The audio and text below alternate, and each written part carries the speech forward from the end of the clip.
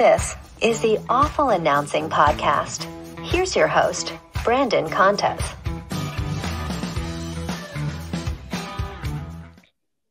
Alrighty, welcome to the reboot episode of the Awful Announcing Podcast. I'm your host, Brandon Contes, and for episode one of the latest iteration of the Awful Announcing Podcast, we have Bomani Jones on the show, who I think is one of the most versatile entertainers in sports media. You got Game Theory on HBO, The Right Time on ESPN, and Bomani, who was a guest on the Awful Announcing Podcast back in 2014, which I think officially allows me to call him a friend of the program. Bomani, thanks for joining us again today. A lot has changed since 2014.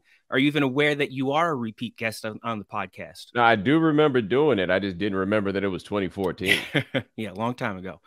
Um, so I, I want to talk a little bit about your path to ESPN, but also your path into sports media because when you got started, you have a master's in economics, a master's in politics, you're working on your doctorate and you start writing about sports. So at that time, was it a hobby or is it something that you were interested in making a career out of? Well, I think at that time I was doing more music stuff than I was doing sports. And then uh coincidentally, me and grad school decided that we were not the greatest mix. Let's just call that a mutual decision, shall we say. And then after that, like in a lot of ways, the ESPN thing kind of fell into my lap. Like after I found out I wasn't going uh or I had not passed the micro qual, which was basically go find something else to do with your life. I got a call from ESPN about, hey, we'd like you to do more stuff. And then that kind of built into that. But my plan was always to write in some form of fashion. The surprising part was when the sports stuff came around because I don't, I mean, I'm not exactly sure how it goes now at this point in time, but then this was before the internet had kind of opened the door as to who could get the jobs. And so at that point, I'm 24, 25 years old. I haven't done the thing where you cover the high schools. And I really don't want to do the thing where you cover the high schools. Like, I didn't want to do all those introductory steps, I readily admit. And I just got lucky that in the expansion of the net and people kind of looking for different approaches and different ways to go about sports that didn't require you to have that nuts and bolts journalism training, I was able to get in at that point. Yeah, so you were you were building a, a digital following and even when you when you started radio, you were kind of prioritizing a streaming audience before radio prioritized that that streaming audience. It, was that, and then also you start you host you're hosting a podcast before everybody has a podcast. So like, were you just taking advantage of where you could build an audience, or was that having some foresight into a shift of, of where the industry was headed eventually? Well, when I was working in Raleigh, and I was trying to do the podcast stuff, it was interesting because I couldn't get them to understand what was going on. But the rationale on their end made sense. They weren't making any money off of this digital stuff. They made money off of that ratings book. They made money off of people saying, We listened to this on the radio. And so they wanted to induce as many people as possible to listen on the radio. But for my own personal goals, my own personal aims, why would I not want to send this stuff out if I can? Right. Why would I not want to provide access to it to people who aren't necessarily in the market? Now, my bosses are saying we sell ads to the market. So we don't care about this, all of which um, makes perfect sense. But for me, if I was going to go somewhere, I needed to give people access to what it was that I was doing and give them a chance um, to go ahead and hear it. So, in a lot of ways, it was personal. But then when I started working for the uh, station in Canada, uh, the Sirius station, the whole reason I went there was because they had a massive podcasting operation, and I knew that I would be able to distribute my work um, to a bunch of people. And I think where, particularly in that time, I think I was correct about it. It may be a little bit different then. I mean, different now, but I did not look at the digital product and the analog product as being substitutes for one another if you could listen to the show on the radio, you would listen to the show on the radio. If you cannot listen to the show on the radio, well, okay, cool. I got this thing for you. That was the way that I was looking at it at that time. And I think that for where we were in the industry at that time, it probably made sense. Eh, eh, how long were you doing the the Canada show? That was the score? Yeah, I did that for a year, coming up on two years, but it was about a year and a half. And how much of it was a local audience? in the very beginning, the audience was very much so local. But through my own little independent podcast and operation that I was running, I had built an audience that was all over the place. Right. Um, and that was in part because I had figured out the Twitter game pretty quickly and then was using this to put stuff out on Twitter, put the stuff out on Facebook. But I do remember very clearly when I did the first day on the score, they were able to put together a promo for the next day that was all the people calling, glad you're back, glad you're back, glad you're back. And so a lot of it was local, certainly. Like when we would look up, even to this day, when we look up the stats for the Right Time podcast, it's still a heavy North Carolina lean. Um, yeah. Do you miss doing local radio? Um, there's a component to local radio that I missed. Like there's an intimacy to it that I absolutely did miss having. Like I missed the phone calls. I missed talking yeah. to people who would call up regularly three, four, five times a week. Um, I missed having that. There's something to be said for having an audience where you know exactly what it is that they want to talk about. You know how to get there, and you're part of the culture that they want to hear about. So, like if Carolina Duke was last night, not only do you know everybody wants to talk about Carolina Duke, hell, you want to talk about Carolina Duke. That's what you were doing all day long yesterday. And I think that when you're doing local, you are a member of the tribe in a way that you not even with a podcast do I think that you can really replicate what it is to be part of a, doing it local because with the podcast yeah it's community but by and large it's built around you right it's not built about something bigger than you and so when you're doing local what you're doing typically is about something that is bigger than you I think the uh the caller thing with with radio is such a it's almost like a controversial topic inside sports radio in, in terms of whether hosts like taking calls or, or dislike it. Like so, some hosts just absolutely hate it. I'm in the Northeast where New York is is built on callers. Um, I'm actually surprised that in North Carolina was that something that the station uh, did they have a policy of taking calls, or is that something that you just preferred? No, at the time, uh, the station, I think opinions and callers was one of the taglines of the station at the time. They don't really do it like that so much no more. Yeah. But at the time, the caller part was big. But for me, I recognized that part of why you wanted callers was you wanted the listener to feel themselves in the show. Like you wanted to reflect the audience, give them a bit of a voice. There was that part. The other part for me is any place that I did a show that had callers or anything like that, I attract really interesting people who call yeah. And so the callers themselves wound up becoming characters in a different way. Yeah. And not in the format where a lot of shows where you got your call screener who really is going through and, you know, meticulously figuring out who's worth getting on the air or not. I'd be like, throw anybody on. If they bad, throw them off. If they're good, it's about to be magic. Did you take calls on the ESPN radio show, the national show? Yes, we did. Um, that they're not nearly as much fun. like that that I would say like the ones that less consistent me, I'm sure also. Correct. Like those who came with me okay cool then we could have something. But like a national syndicated audience unless you really had years to cultivate your your crew of people the caller game was not nearly as much fun there. Um you've been with espn for about 20 years in in various capacities. Obviously a, a, lot of changes have occurred within the company in that time.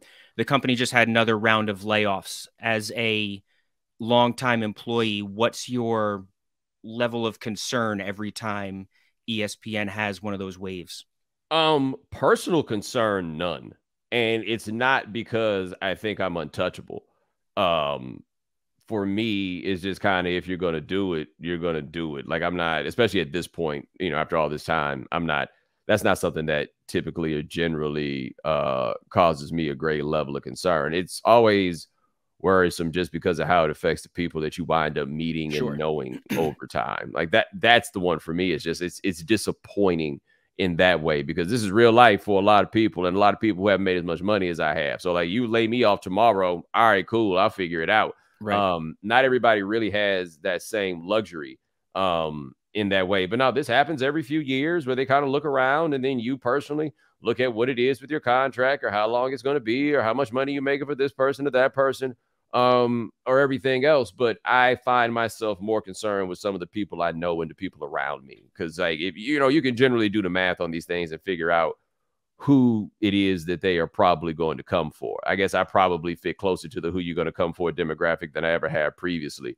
But you know, you worry for those people, especially, you know, the ones you know think it can't happen to them. And yeah. you know, it just might, buddy. It just might uh, ESPN Radio was was hit pretty hard, especially behind the scenes. So, as somebody that hosted nationally drive time on ESPN Radio for a bit, what, what do you think the the future holds for that platform?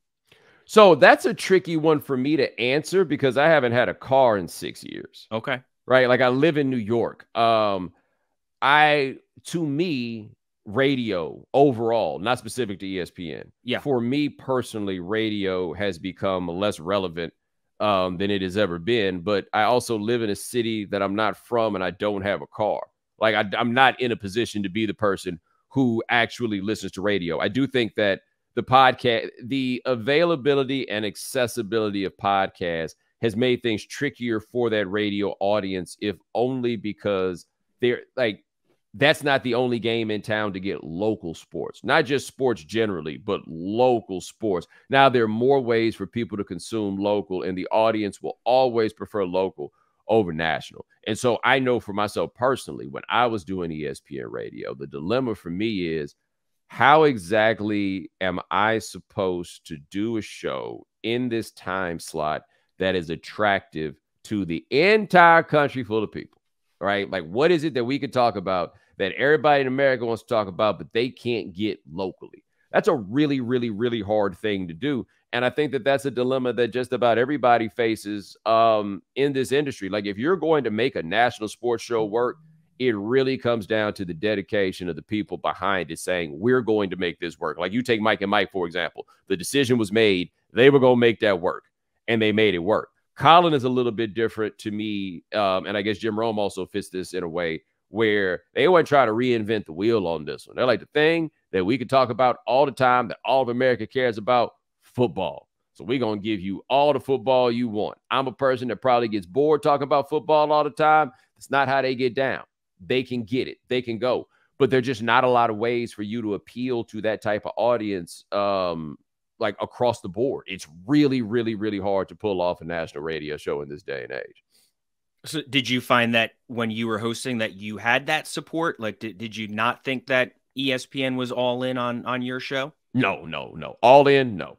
Um, I wouldn't say they were out necessarily. Yeah. that kind of thing, like for me at least, kind of fluctuated depending upon who was in charge. Some people were more enthusiastic than others. Like I can point to one superior who definitely, I think, felt invested to making this work. And then that person was replaced by somebody else who at times it felt like was dedicated to getting me up out the paint. And I could look around and see things and be like, oh yeah, no, no, no. There's there's this this is not getting the the support from upstairs that I would like. Like I don't even tell this story very often, but I went up there to Bristol one time. Um, now you know what?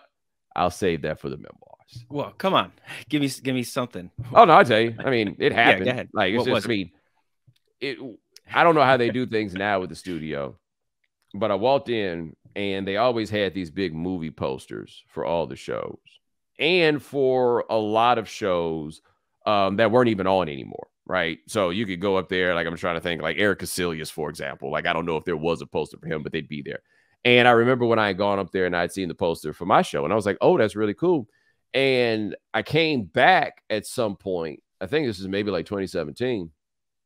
And I'm looking on the walls, and uh I don't see mine. And I'm like, oh, okay. I don't really think much of it, but I'm like, oh, I wonder what that's about.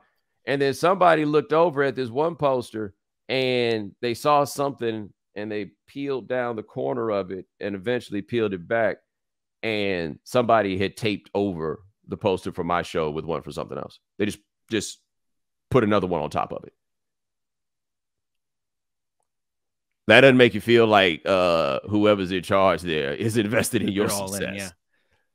did you did you ever did you comment on it or question it or like um not really. Like i think i, I think whoever was the person on like physically there at the time came and gave me some ah you know under like what do you say if you're the other if you if you're the boss on the other side what do you say? There's nothing for you to say. And on my end what am i going to do? Whine about a poster? Right. You know like all the only thing there is for me to say in that situation is I take this as a reflection of something greater and problematic. But that ain't going nowhere, right? Yeah, yeah. What I'm gonna do? Sit in there and cry about it? Like, look, if somebody couldn't stand to see my face for whatever reason, like I wasn't even in there. If somebody couldn't stand to see my face, then fine. They couldn't stand to see my face. But you know, you look at it and you know there is somebody here, whoever it is. By the way, the thing that they pasted over me with was something that wasn't even on the air no more. So, like, I think it was a podcast. Like, it wasn't even a radio show but it was somebody just walked up there and just decided we don't want to look at you no more. How much longer were you on the air after that? Not long, um, probably about five, six months. But like I think something that has been misreported by dishonest people over the last uh, six years about this is when High Noon was coming around, I was like, look, I want to put my energy toward this television show, and I would like to transition from doing this radio show to doing a podcast. And they agreed. Like, I don't think anybody put up that much of a fight over me doing it. You know, like I don't want to pretend as though people were throwing themselves in front of the train to stop it. Yeah. But I decided, you know, my agent and I looked around and were just like, look, it's a better use of time, and it's probably better for me to take this to a podcast rather than doing radio. Like this wasn't a situation where they canceled it in spite of the fact that some people may not have wanted to see my face. We made that call on our end, and it was one of the best decisions I think we've ever made. Did you do you think that it, it was headed down the road of being canceled though? No. No. No. Like, I mean, maybe. Like, this is one thing I find when people talk about what was going on with my radio show is ain't nobody ever gave a damn this much about an ESPN radio show that came on after one o'clock. Yeah. As people like seem to care about or claim. Was it headed toward cancellation? I don't have any reason to believe why. Nobody ever had any conversation with me that was like, oh, buddy, you're in trouble. Um, when I was doing that and the times where I would get the ratings, everybody was falling. Like there was just a time where the network itself was trying to figure out hold how to hold on to the people they had, and every slot seemed to be falling. Like the ones I remember is where everybody was falling and we were holding flat. My disagreement that I had while working in radio there was, and I get where they were coming from, was that they make money off of these ads on terrestrial. And so they're trying to figure out how you can come up with this show again that's going to serve the entirety of your terrestrial audience, which is incredibly difficult, especially in the PPM era. Like this is this is just really really hard for you to pull off. But I'm looking at our numbers. I'm like, yo, we're doing really well on digital and we're doing really well on Sirius. My outlook is it is your best bet to serve the audience you have rather than to chase the audience that you don't. But that's not how those people make money and how everybody gets promoted. So they weren't going about it in that way. And so, I mean, I look at my pro- look at what I'm doing, and I'm like, if this is attractive on digital and attractive on Sirius, then we need to go to a place where those are the people we serve, or I don't have to deal with the bullshit from whoever your little local yokel PD is. Did you have a lot of content freedom when you were hosting uh, ESPN Radio? Uh, I would say yes and no. Um, like the freedom is bound by common sense. Like the content is to serve the audience. The content is not to serve my whims. Like it was never a time that I was ever doing anything that I didn't think to myself the audience would find interesting or I did not think was in line with what was necessary to serve um, the audience. But I never had a single time ever that somebody told me don't do that or you yep. can't do that. That that never ever came up. Uh, what about game theory? I, I imagine you have um, a cast of writers with that show. Yeah. Do you have a lot of content freedom with HBO? Yeah, I'm in charge. Yeah. Like how is how is it work at because like going from um having your podcast where where it's it's all kind of you and and then radio is all kind of you and then having a, a team of of support how how do you like that adjustment? Well the difficulty of that is the writers are in a bit of a unfair situation in that this isn't writing for most people that you write for in Hollywood, where basically you get to assign a point of view to them. Like you just write something that you think is good and something that you think fits their voice, and then you give it to them, and then we work it out. People know my bars. They don't heard me rap. They know what it sounds like if it's somebody else doing it and not me.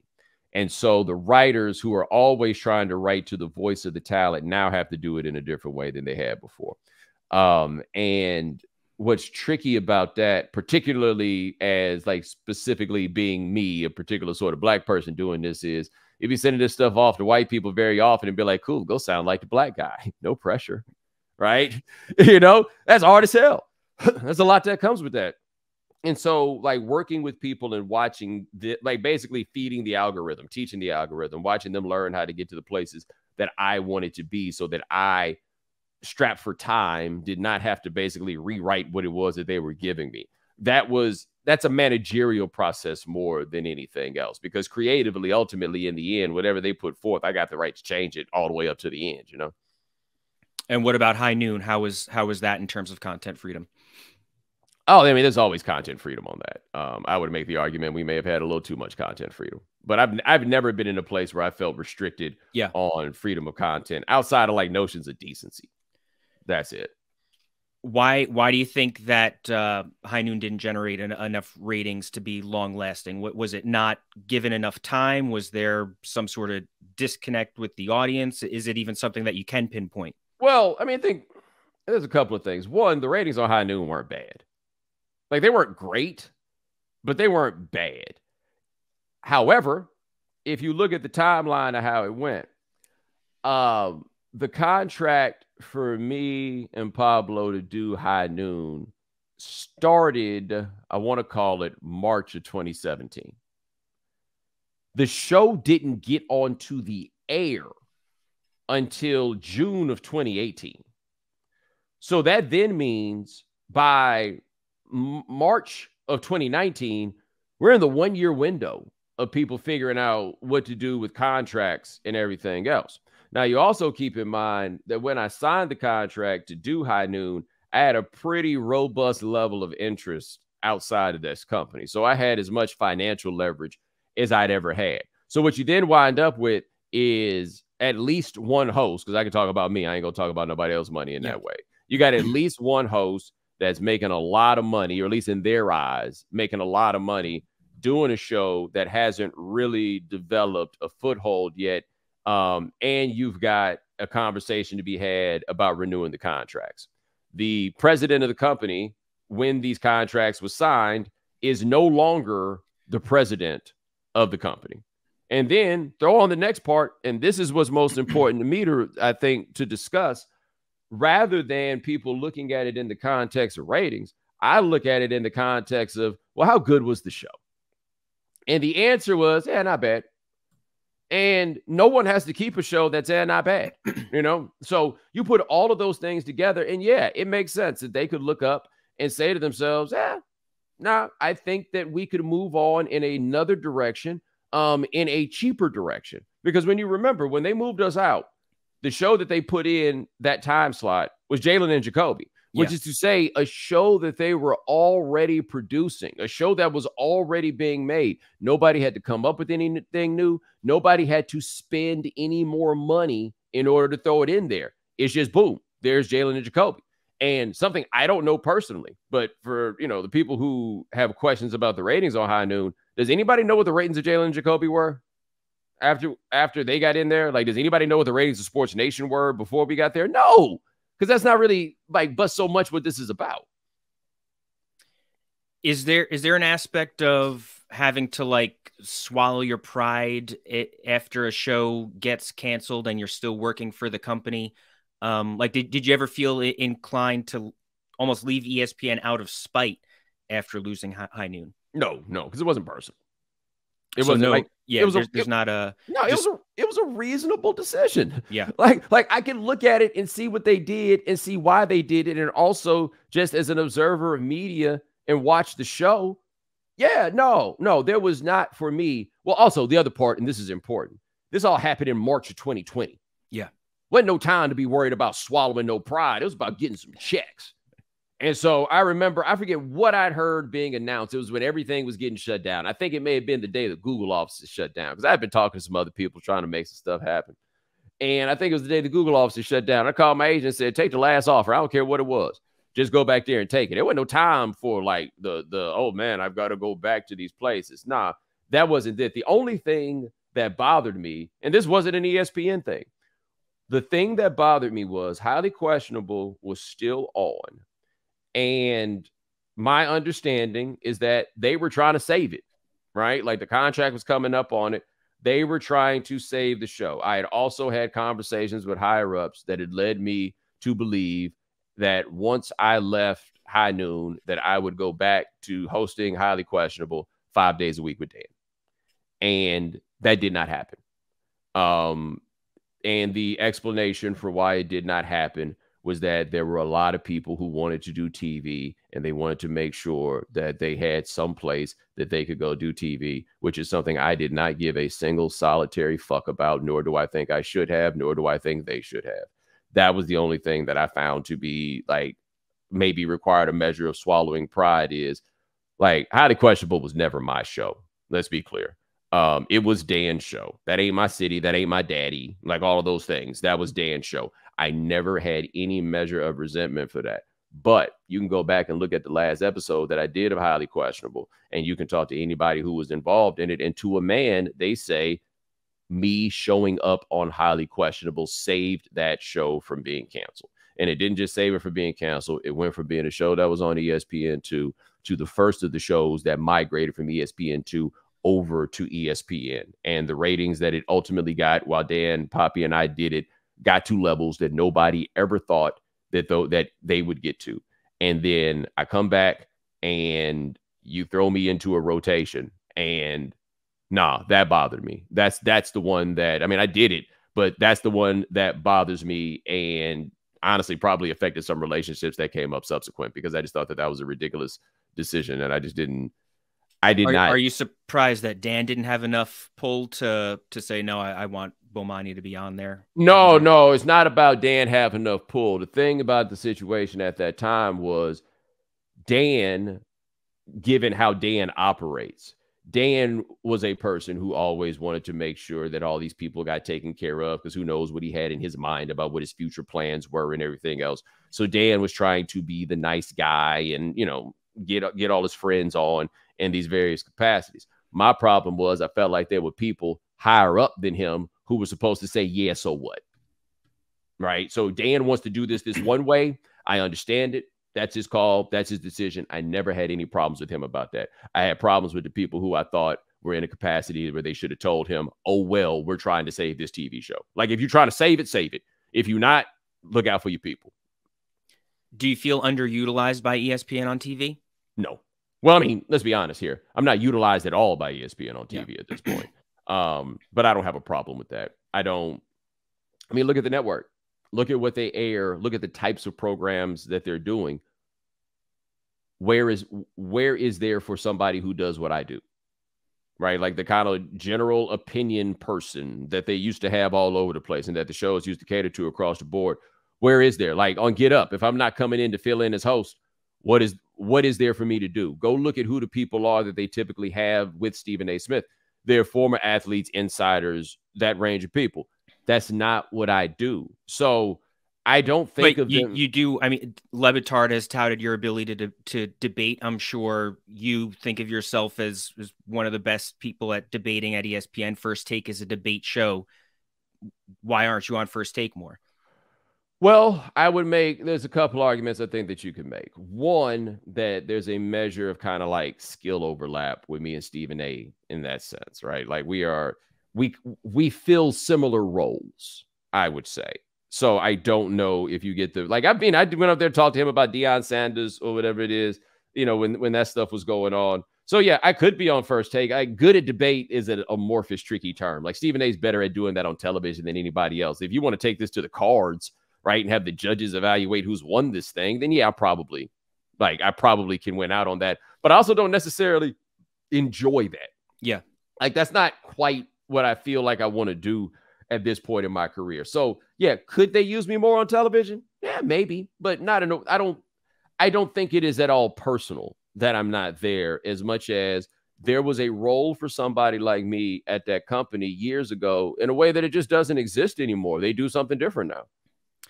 Uh, Chris Russo's not a former athlete, but he, he gets a lot of run on first take. Yeah, he's Chris Russo.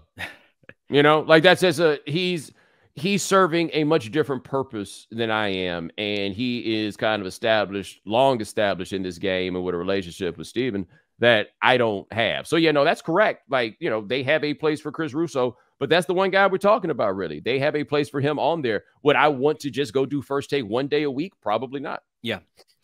Do you think people at ESPN are getting used to Chris Russo's shtick? Because last year it seemed like like JJ Redick, Ryan Clark, Domonique Foxworth, like they they didn't didn't want to deal with him.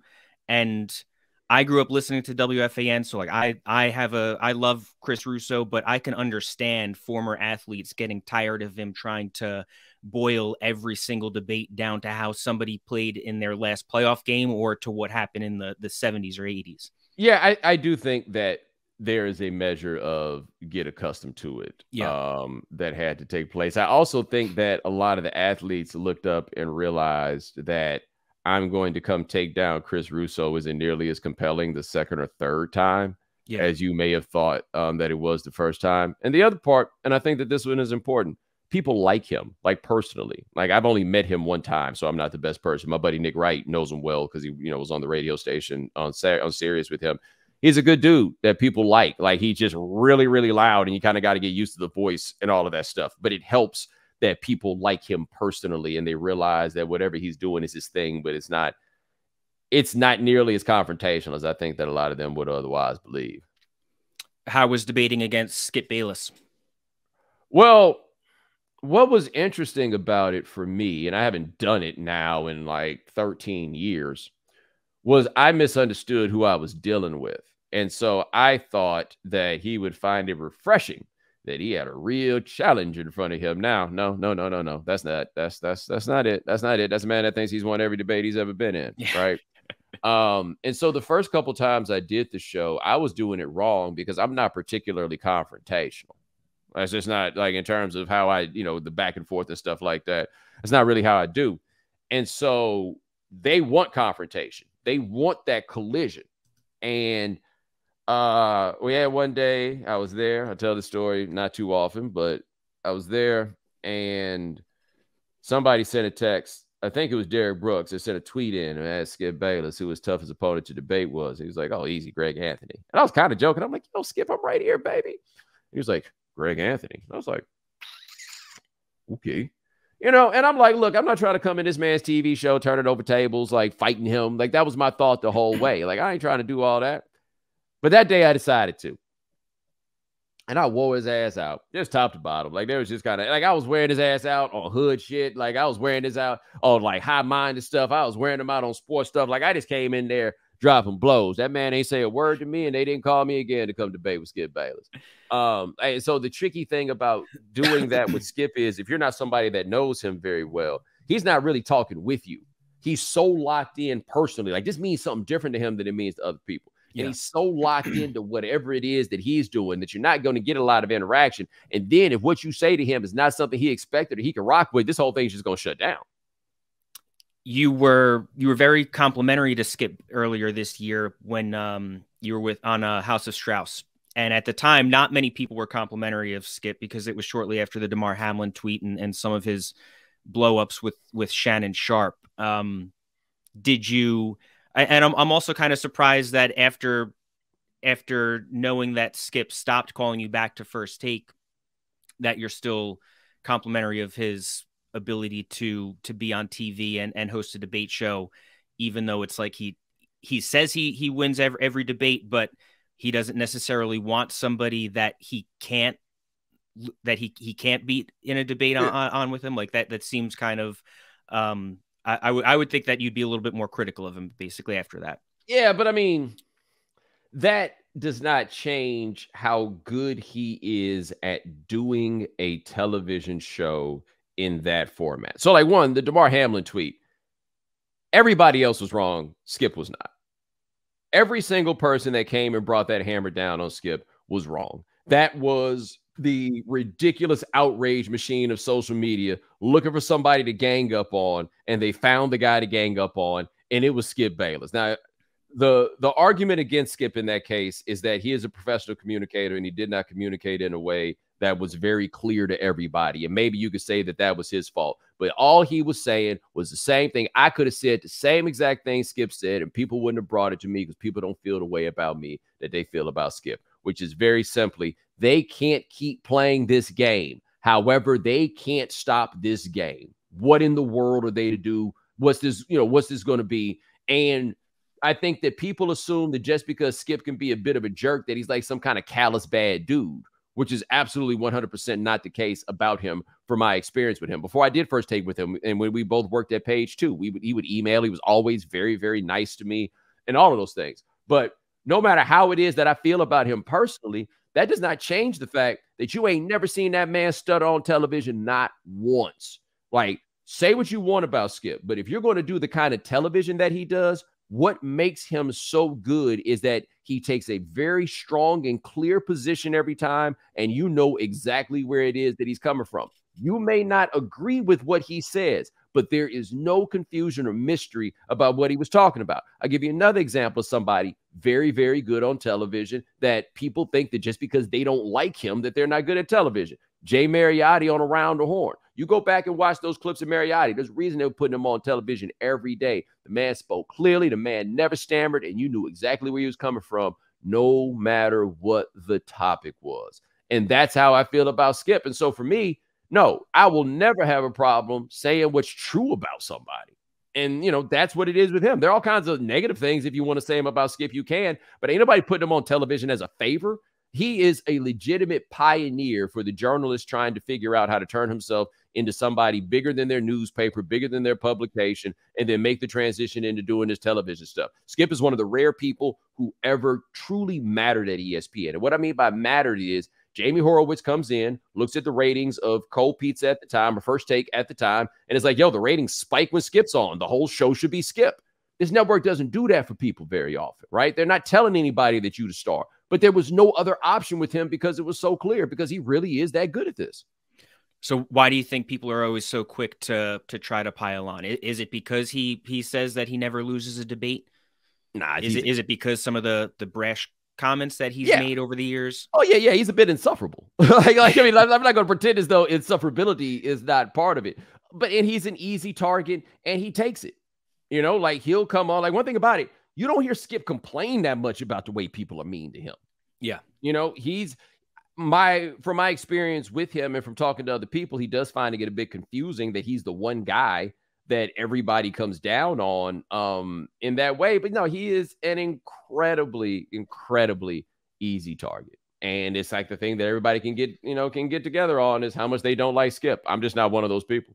Yeah. Um, is a is a big hypothetical, but say Skip and Shannon did end up divorcing earlier this year after after some of their on air blowups. Would you have been interested in in teaming up with Skip Bayless for a debate show? No is that because of Skip, or is that just that that format just is not something that uh, appeals yeah, I to don't, you? I don't really want to do that. I I am not particularly interested at this point, and maybe something will change. But the idea of hey, we're going to put you with a co-host, I don't think I want to do that again. What do you think about Stephen A. Smith starting to pivot a little bit in, into politics and the new podcast that he has? Um, I mean, if that's what he wants to do, I haven't really listened to the podcast. I've heard, you know, some of the snippets um, that they put online, but I don't see any reason for him not to do that. And I think, I mean, we've known this for a long time about Stephen A. His ambitions have always been bigger and grander yeah. than sports. And, you know, it's a kind of a new world order um, at the company with them allowing people to do things that are outside of the company or allowing him to do a podcast like that. Um, and so I wish him the best on it. I'm interested. I mean, he has talked about having, you know, people approaching him about going into politics. I would not be surprised at all to see him actually do it. Like, like that. In fact, I may be more surprised. I mean, more surprised than not if he were to not go into politics. Really, at this point, look, man, he's really, really, really famous. Like, I, I, don't think that's something that can really easily be explained to people. It's just what the magnitude of Stephen A. Smith is at this point in time, and if he decided to run, I would not be terribly surprised. I don't have any idea whether or not he could win. I don't know where he would run. I don't know any of those things, but it wouldn't shock me at all if he decided he wanted to run for office. Is that something though that do you think he would have to start at like a local level in running for office or or right? Uh, how local are you talking? Uh, I I mean, like, could you see him running for running for governor? Like, I I, I don't I don't know that. I could. Uh, oh, really? I could see him doing that. I don't know if that would be the wisest idea necessarily. Right, right, right. Yeah, but I sure. could see him doing that. I could see him running jumping right into something like that. Yeah, like I could see him running for the house. Like, but he moves like a politician, and I don't mean that in a bad way. But he moves like a man that knows that everybody's looking at him, and that when he talks, everybody sits up and listens. Did you have any issue with Stephen A. interviewing Clay Travis? Like, does that does that bother you? Being that you guys are ESPN colleagues, did it did that bother you at all? No, I no. mean, if look, if I were going to have a problem with that, it would. Stephen A. and I are friendly. We are not friends. Yeah, you know, that's like that's not my homeboy. I'm not gonna call him up and chat about the game. Um, if we were, maybe I would view that somewhat differently. But I understand that Stephen A views himself as a centrist. Like he says this kind of out loud, is that he yep. sees himself as a as a centrist. And to be a centrist, you kind of have to go in both directions on that, and thereby you wind up talking to Clay Travis. Uh, were you more surprised that Don Lemon was let go by CNN or Tucker was let go by Fox News this week? Or on? Well, you know, I do a decent bit of work there with the CNN yeah. people. Um, I am not surprised by either, but for very um, different reasons. I think with Don, it just became a question you ask yourself about fit right? Fit in what he's doing, fit in where the network is, everything else. Like, I want to be very careful because I don't know too much about the inner workings, but I think that we had read enough things in the trades and seen enough things to not be surprised that somebody would make a decision to move on from him. Like, this is the game. People get let go of, you know, just get let go all the time. With Carlson, again, everything else that swirled, it wasn't terribly surprising. The part with Carlson that I think that gets lost is that for all those ratings, his presence had been so toxic for so long to blue chip advertisers that they wasn't really getting the money out of it that one would think that they should get from such a time slot. Um, and for Fox, it was funny. I had lunch with somebody the day that happened, and I looked at him and I said, "Well, do you remember who Tucker Carlson replaced?" And he was just like, oh wow, I don't know. And I was like, it was Bill O'Reilly. Bill O'Reilly, yeah. Like, and Bill O'Reilly's not a small person, but it, that easily you could forget. They gonna put somebody else in there, and they can build it back up if they want to, right? So I was actually surprised, given all of what would happen, all the things that had happened with Carlson over the years. I think it's as much a surprise as anything else that this didn't happen sooner. But I think it just, with all the stuff with the lawsuits and everything else, he just became more trouble than he was worth. Do you have an interest in a, a bigger role on cable news or the occasional CNN hits enough? Eh, it depends.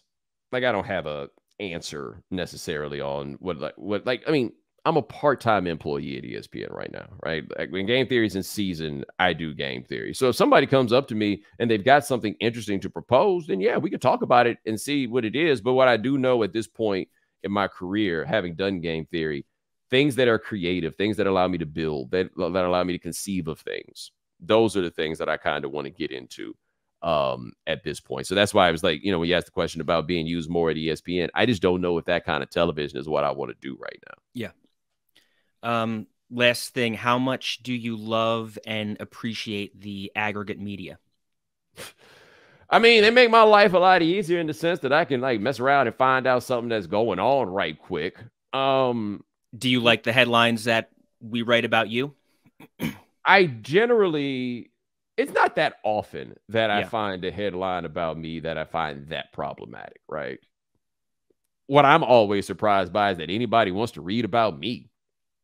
Like that's that that's the strangest thing in but the world I think, to me. I think they want to read about your opinions. Yeah, but there's also but there's a cottage industry of just like the coverage of sports media, like even like the entirety of the site that you work for. Yeah, it blows my mind that this site can exist and be profitable like clearly it can, and clearly you guys get it, but people yeah. care about the people in our industry in a way that they don't elsewhere. I think that it's a function of the fact that we talk about sports and transactions all the time. Like the people who cover the music industry aren't sitting around like, yo, somebody got dropped from their contract this week. Like it doesn't work that way. Like you don't have wires that, you know, that move like this does. So as a result, people talk about us um the same way. And so I don't necessarily mind the headlines I I just always worry whether or not the person who is doing the aggregating actually gets my point and if they are providing adequate context to what it is that I've said. I have less problem with the aggregating media than I have with people who work in social media at these sites or at these shows or whatever that then decide that they want to push the content. Yeah. They're the ones that I have a problem with because they're the sociopaths looking for hits and, and the indifference very often of whoever it is that is a guest on their show. Like I'll give an example. I did something once with Dan, and I forget what we were talking about. Something uh, it was the Brian Flores thing or whatever it was, and it was a classic interview with white person, and they're like, "Well, what? Get, well, what has to change to fix the problems of the league?" And I was like, "Yeah, white people are what's got to change." And my fundamental point was and remains: racism is a white people problem. Like, there's nothing like they always ask a black person, what can we do to fix this? As if if we didn't have the magic solution, we wouldn't have been been done that, right? Like we have the greatest incentive to figure it out. No, it's white people. Was I saying that white people are the only problem in the world? No, it wasn't any of those things. But the Le people just thought the clip was funny. And so they're just like, uh, uh, first of all, again, leaning on it for the idea that it's funny, not the fundamental point. Yeah. And so they put this clip out that's just, what's the problem? White people. So you know who gets a hold of that, right? And so now I got people calling my bosses and everything else and making this a thing. And then I go do CNN that night and they're like, ah, yeah, you know, we, you know, as they people doing, saying da da da. And I'm like, we ain't got to talk about these people, right? We don't have to take them seriously. But I have greater problems when people who run something or run some outlet that you have given your time to for free to do, you know, to do something with them and they don't look out for you yeah. in terms of how they present the content after the fact. Had another one where I had to fix this because uh I had this happen when I went on CNN and I started talking about Deion Sanders and they put the clip out and the cryon was their initial question that I dismissed myself, which was, is Deion Sanders a sellout? Like that's what's reading under the screen. Nothing I say in that viral clip really gets heard because all they see underneath is is Deion Sanders a sellout? Right. And so now I got friends calling me like, hey, Deion's son called me and want to know if it was okay that you called his dad a sellout. And I'm like, go listen to it. I didn't call his dad a sellout. Right. So where it got weird for me after that is then Dan Patrick show, which I've been on a few times, they put out a clip where Dan had misunderstood because of the Cryon thing. I mean, the Chiron thing, right? And he asked Marcellus Wiley, well, Bomani Jones says Deion Sanders is a sellout. And then Marcellus is talking about me being a sellout, me saying Deion's a sellout. And then he's talking about me saying that Deion's a sellout. And I never said that thing, you know? So I called Dan's people and I was just like, hey, man, um, you know, you know, all, all the stuff I just said right there. And they're like, yeah, we corrected Dan. I'm like, yeah, but then it went out on social. And they're like, oh, didn't realize that happened. We'll take it down. You see what I mean? But so it winds up I have more problems with the outlets that someone like me can appear on not being protective of enough, enough of their guests when they then like when it happened with Le Batard, I called a social guy and I was just like, hey man, you know, look, I know you didn't mean nothing by it. You know, like I know you weren't thinking of it that way, but you just got to keep in mind that I need y'all to look out for me when it comes to this because you guys have the control. And that that is more of a concern to me than the aggregators. All right, noted. So we'll uh, we'll try to take extra caution with the clips that we put out from this podcast. I'd appreciate that. All right, Bomani, thanks a lot. I've kept you long enough, but you've uh, you've been awesome. No, man, I appreciate it. I'm gonna just throw a little plug myself. Uh, check out the Right Time with Bomani Jones podcast. We got nominated uh, for a Webby. We'll find out in May whether or not we win said Webby. I think Draymond probably beat us out for the People's Choice uh, element of that. But no, that's been if there's been a joy of this pandemic, it has been watching that podcast kind of do rocket ship things. Good stuff. All right, and this is the Awful Announcing Podcast. I'm Brandon Contes. Thanks for listening. Be good. Thanks for listening to the Awful Announcing Podcast. For the latest news spanning the sports media landscape and more, check out awfulannouncing.com and follow us at Awful Announcing.